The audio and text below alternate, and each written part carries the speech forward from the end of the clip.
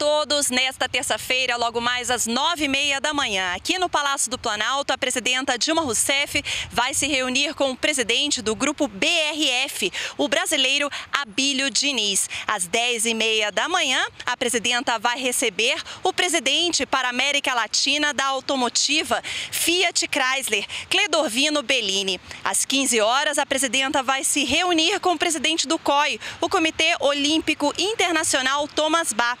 E às 18 horas, a presidenta vai receber o presidente da Câmara de Políticas para Gestão, Desempenho e Competitividade do Conselho de Governo, o empresário Jorge Gerdau.